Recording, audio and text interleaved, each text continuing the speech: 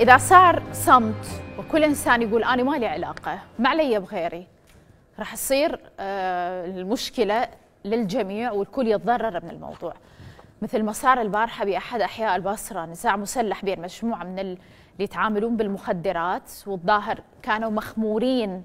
شوف الموضوع شلون صار طبيعي. خلينا نتابع.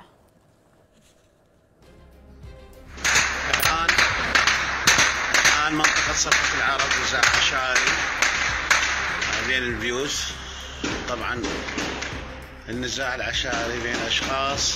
أعتقد أنه حسب حكي شهود عيان يقول يعنون بمجال المخدرات من القبيل هذا أو الكريستال تجار كريستال